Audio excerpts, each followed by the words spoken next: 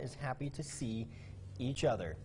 And we are happy to see Roxy one more time. She's out at the Lost Kingdom Water Park with one final check on your forecast.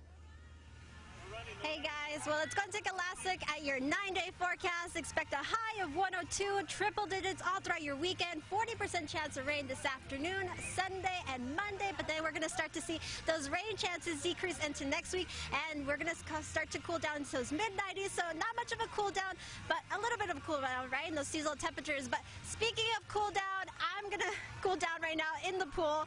So I'm going to put the mic down real quick.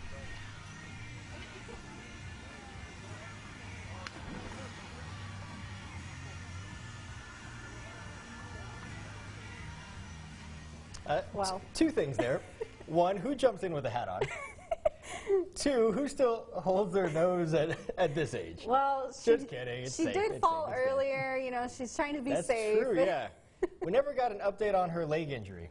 No, I we think she's didn't. okay. I That jump was she's pretty good. I mean, fully clothed with a lei and hat there, but she's having fun. You know, it was raining. It was raining a, a few minutes before the noon show started, so I'm glad that it's uh, looks